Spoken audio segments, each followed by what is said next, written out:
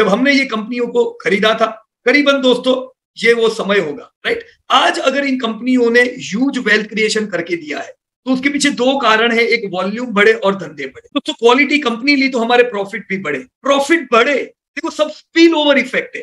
Profit बढ़े तो हमको डिविडेंड रेगुलर आने लगा। हमारी बैंक में कैश फ्लो कंटिन्यू हो गया राइट मेरी, ये तो मेरी बात हुई, हमारी कंपनी एक निवेशक के तौर पे मेरे बैंक में डिविडेंड आने लगे। मेरी जो कंपनी जहाँ पे मैंने निवेश किया है, वो कंपनी का भी कैश फ्लो चालू रहा राइट क्योंकि डिविडेंड बांटने के बाद पैसा बचा, वो भी तो एड होता गया रिज़र्व में। तो कंपनी का भी कैश फ्लो चालू, मेरा भी कैश फ्लो चालू, मुझे भी पैसे मिल रहे कंपनी के पास भी पैसे जा रहे। Over the period of time ऐसी कंपनियाँ रॉकेट बनती है राइट ऐसी कंपनियों में आपको मल्टी ईयर रैली नज़र आती है दोस्तों। ऑल राइट जहाँ पे ही ध्यान देने का अभी वॉल्यूम बिगड़े हुए। तो अभी टूटनी पड़ने का रिलैक्स हो पे। अरे, गिरा हुआ है, माल उठाओ माल उठाओ। ये दोस्तों नॉर्मल निवेशक करते हैं। स्मार्ट निवेशक क्या देखते हैं? वॉल्यूम ट्रैक करते हैं। भाई वॉल्यूम तो बढ़ने दो।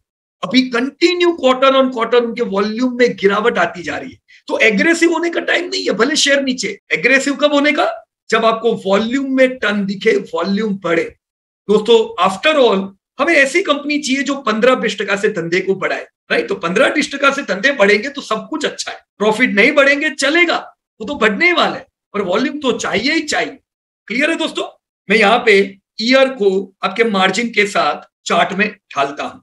तो एक चीज़ आपने देखी होगी कि मार्जिन रेंज बाउंड होते हैं, है ना? रेंज बाउंड पर over the period of time वो एक्सपांड होते हैं। हेलो एवरीबडी ध्यान है ना आपका?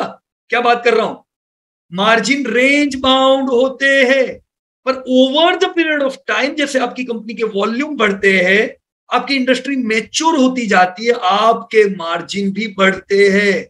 वो एक रेंज में ही रहेंगे, फिर कुछ समय बाद और एक्सपांड होते हैं राइट तो आप ऐसा रिलैक्सो में नहीं, आप ज़्यादातर कंपनियों में दोस्तों ये चीज़ देखोगे जैसे जैसे आपकी इंडस्ट्री मैच्योर होगी, आपके मार्जिन बढ़ेंगे।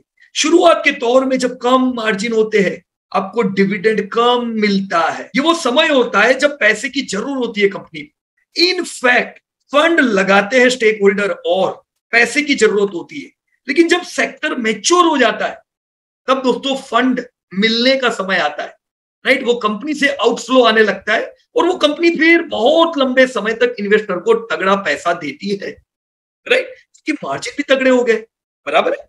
तो मार्जिन को कभी सीधी रेखा में उम्मीद मत करो। ऑल राइट अब दोस्तों भाव जब आपने देखे, जहाँ पे जैसे आपने लॉन्ग टर्म रिलैक्सो के अगर पी देखे हो, देखो शुरुआत में कैसा पी चलता था, है ना? बिल्कुल सस्ता, क्यों ऐसा? राइट उस समय ये वो टाइम था दोस्तों जब इंडिया में बिजनेसेस बढ़िया नहीं थे। हमने आपको पहले ही समझाया है कि 1991 के बाद प्राइवेटाइजेशन प्रॉपर वे में चालू हुआ। उसके पहले तो लाइसेंस राज था। तो ये पूरा 2003 तक का एक दौर चला। ये समय था पूरा समय इंडस्ट्रीज़ के लिए। तो ये टाइम पे कौन पी देगा इंडियन कंपनियों को? नहीं मिलेगा पी इनको।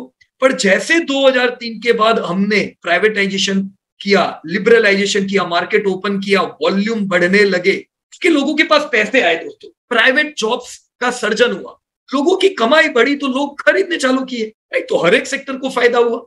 फिर आप देखोगे दोस्तों, देखो पी ने एक्सपांशन हुआ कि नहीं पी एक्सपांड ये अगेन रिलैक्सो में नहीं। कि आप हर एक कंपनी में देखोगे कि धीमे धीमे, जैसे इन्वेस्टर को कॉन्फिडेंस आता है, आपका पी एक्सपांड होता है। Right friends